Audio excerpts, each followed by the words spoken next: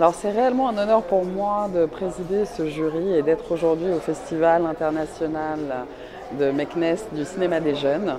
Euh, l'intérêt de ce festival, c'est de voir euh, ce qu'on a vu aujourd'hui concerner les films de Meknes, les courts-métrages de Meknes, et c'est toujours intéressant de voir ce que les jeunes de cette ville proposent, l'imagination, le les sujets qui sont abordés, les thèmes aussi. Et c'est toujours euh, pour moi un honneur et un plaisir de pouvoir voir euh, les films qui sont réalisés euh, ici au Maroc.